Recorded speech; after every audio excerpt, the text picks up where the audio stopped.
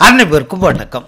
பழைய ஐந்து ரூபாய் பத்து ரூபாய் நூறு ரூபாய் நோட்டுகள் வரும் மார்ச் அல்லது ஏப்ரல் மாதத்திற்குள் திரும்ப பெறப்படும் என ரிசர்வ் வங்கி அறிவித்துள்ளதாகவும் இந்த முடிவு மங்களூருவில் நடைபெற்ற மாவட்ட வங்கிகள் இடையேயான ஆலோசனை கூட்டத்தில் முடிவு செய்யப்பட்டதாகவும் கடந்த சில நாட்களுக்கு முன்பு பிரபல தமிழ் ஊடகங்கள் செய்தி வெளியிட்டன.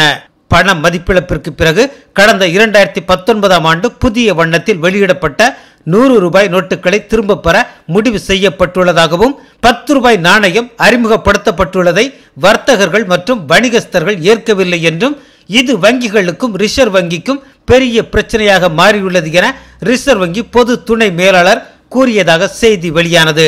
இந்த நிலையில் வரும் மார்ச் மாதம் முதல் பழைய ஐந்து ரூபாய் பத்து ரூபாய் நூறு ரூபாய் நோட்டுகளை புழக்கத்தில் இருந்து நீக்க ரிசர்வ் வங்கி முடிவு செய்துள்ளதாக தகவல் வெளியானதில் உண்மை இல்லை என்று ரிசர்வ் வங்கி தனது ட்விட்டர் பக்கத்தில் விளக்கம் அளித்துள்ளது. நன்றி.